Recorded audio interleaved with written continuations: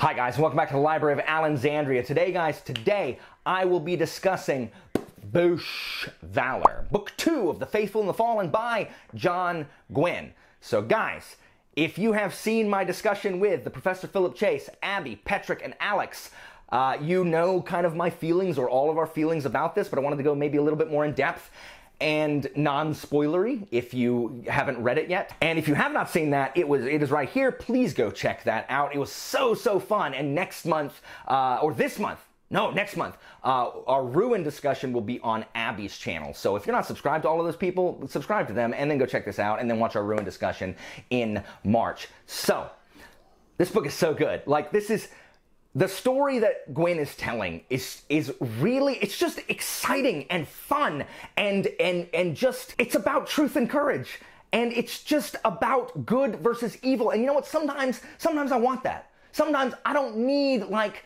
amoral or you know uh, anti-heroes like standing around looking mysterious and brooding and and you know having to oh what kind of like line will i have to cross to get this? Oh the hard-boiled detective. Is he gonna be what is he have to gonna have to do? Like just give me a good guy and a bad guy sometimes. Just make it simple. And gwynne in large parts does. There are characters in this book that are very clearly good, characters that are very, very clearly evil. I'm looking at freaking you, freaking Jael, and freaking Lykos. And that is not a spoiler because if you've read the first book, you definitely know that they are both douchebags.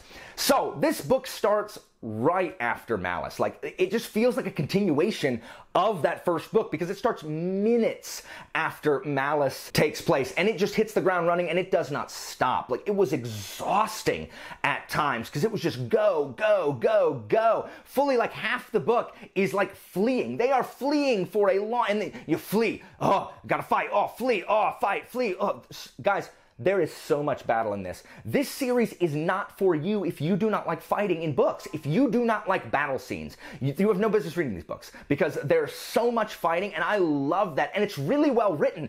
And despite the fact there are so bleeding many of them, it never feels like I'm never tired of seeing it. It doesn't feel boring. It, they're always fought in different ways and they're all, every fight serves a purpose. Something comes from each of the fights, which I love. This is something that R.A. Salvatore does not do as well. If you've ever read any Salvatore books, Salvatore has fights just to have fights, just to show off like how amazing the fight choreography is, which is cool, but I cannot tell you how many freaking roving bands of goblins that Drizzt and his crew had to kill, or, oh, in The Demon Awakens, how many, like, what are they? Gob- are there goblins in that? And Power Rangers? Yeah, goblins. Like, how many times do I need to see that? Ugh. Like, I know Elbryan can fight. Like, we get it. So the fighting never really gets old, but it does get tiring because you just don't even get, get a chance to catch your breath.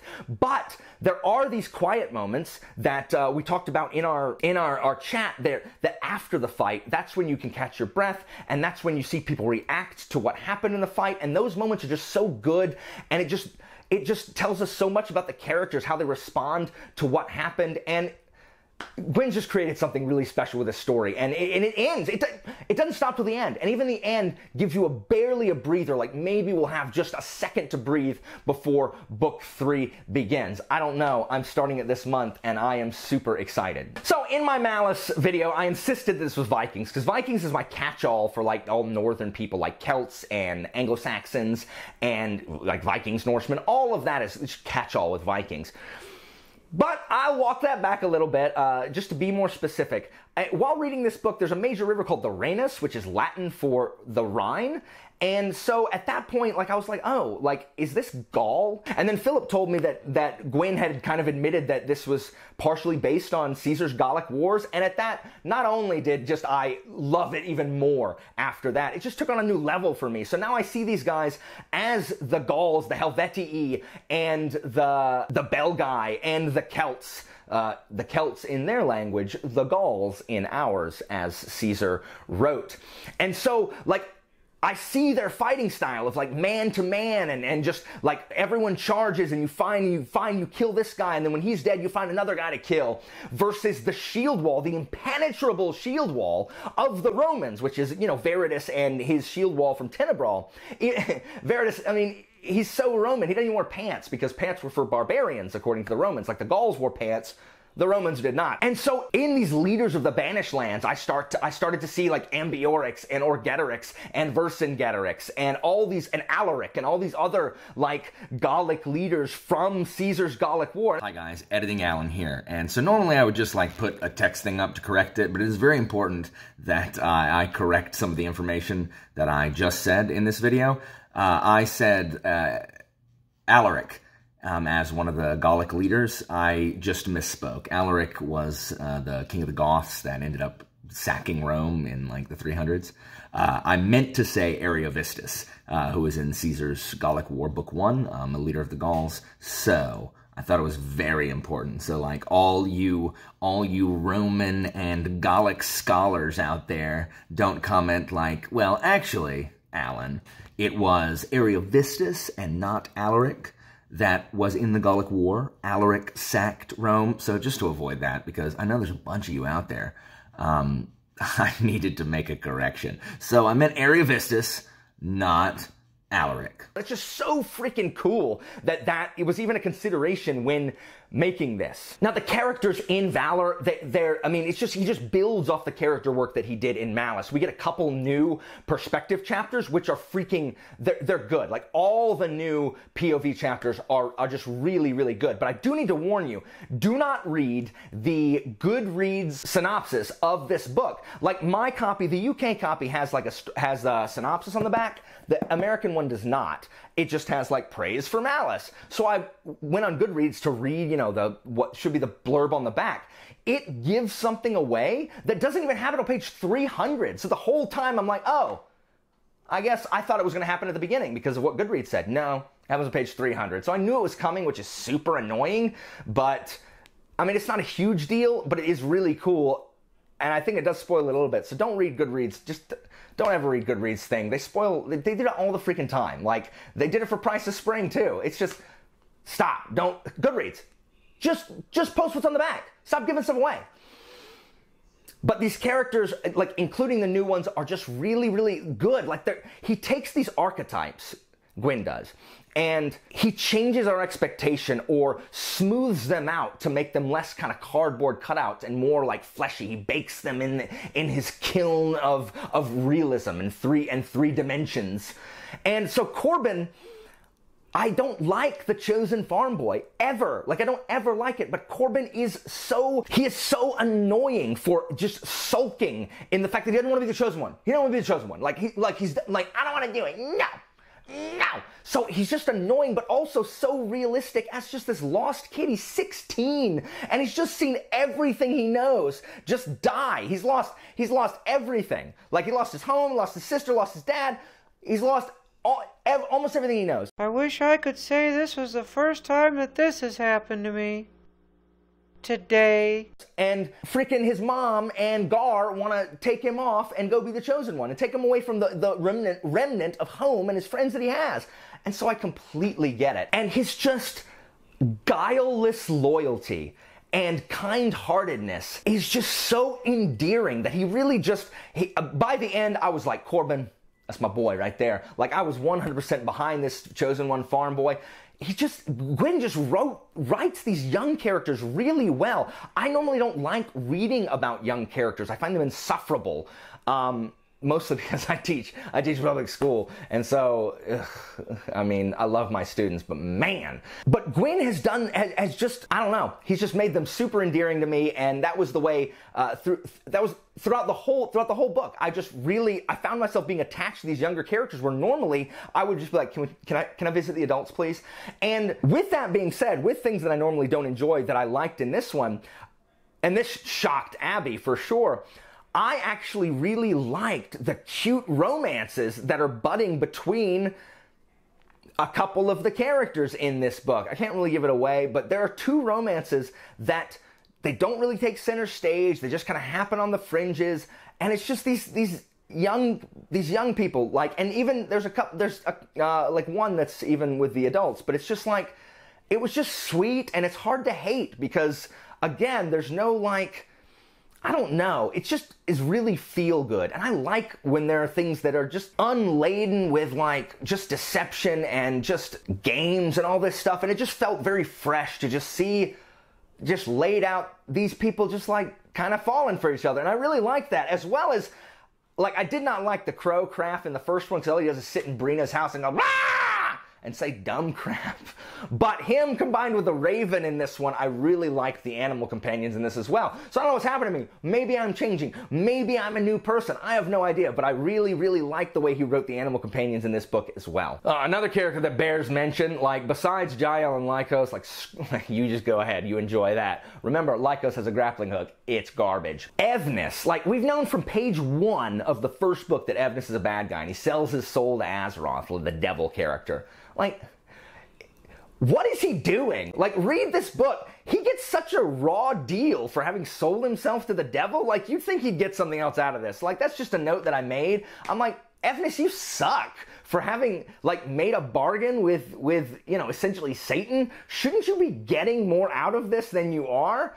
I don't even know. And so Valor continues uh, continues the story of the the Bright Star and the Black Sun. We learn more about the identity of both of them. We learn more about the forces that are really at play here. About the more about the Ben Alim and the Kadashim, which is just like freaking good and bad angels. We learn more about the Vin Thalun, and they have like fighting pits, and which is very like most fantasy books, uh, especially guys. If you ever played RPGs, if you've played RPGs your entire life, there's always an arena level.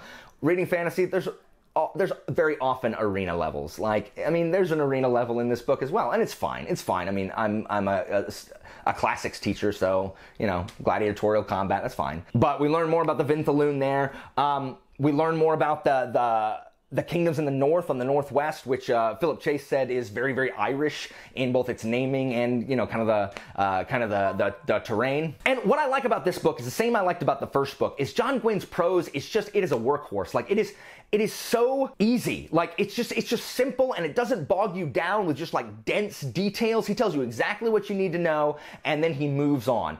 Uh, because of this, we don't really know what everybody looks like very clearly. Um, it's a lot of dark haired people with beards and a couple redheaded people. But the plus side of this is that travel, like sometimes time passes in just a page, like months, weeks and months, days, weeks, months pass just in just a paragraph. Like traveling, we do not have to see every freaking leg of the travel journey. Compare with Martin and Feast of Crows and Dance for Dragons. Guys, do y'all realize that in Game of Thrones, Catelyn makes the trip from Winterfell to King's Landing in like in a chapter, and yet we have to watch every leg of these Tyrion's bleeding journey in Dance with Dragons.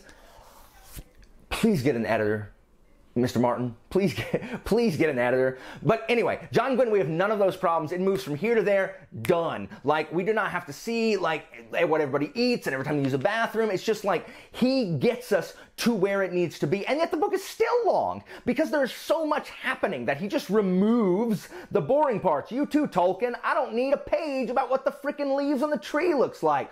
Move it, remove it, excise the tumor, get rid of it, and get us to the next point because that's what kind of book this is. You don't read it for the prose and the description and the terrain. You read it for the plot and the war. This is excellent military fiction. So much battles. Now, in addition to so much battles, there is so many betrayals.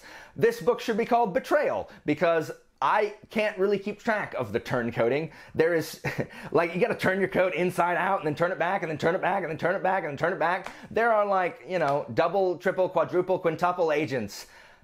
It, there is so much betrayal. Like you, you don't even know. Like you think you know where it's going, and that's that's the great thing about what Gwynne does. He takes these these kind of archetypes and and maybe you know kind of classic fantasy tropes, and then he just does something different that you didn't expect there's a lot of betrayal, be warned. But I do like that we do get more information about that earth magic, that giant magic, the, uh, the magic system in this world that we got barely anything of in the first book. So we do get to see what it entails, kind of more of what its its power is, and con- kind of comparing it to like the power of the Ben Alim and the Kadashim, which seems to be completely different, like the power of, the, of those seven artifacts or whatever, like the cauldron and the, and the starstone axe and things. So all of this just it just builds to this just incredible, gripping conclusion that just is just incredibly climactic and ends and there's a scene where someone's just sitting on the steps kind of taking everything in and just wondering what the heck's going on. And it's oh, it's just really powerful in that quiet moment as the as uh, the book wraps up and it's just it's just, it's just good and i cannot wait to read ruin. And now this book is called valor and for good reason because this book has a lot to say about honor and valor. It asks it, it, it asks what is honorable? Like what does that mean to have honor? Is it is it keeping oaths? Is it staying alive to uh, to to keep that oath to keep a promise to accomplish a goal? Does the end justify the means? Is it honorable if you are doing the right thing like going toward a goal that is for justice and for right, is it still honorable if you have to do in incredibly just disdainful and abhorrent things to get there. The I love it when I love in justifying the means like questions and ponderings.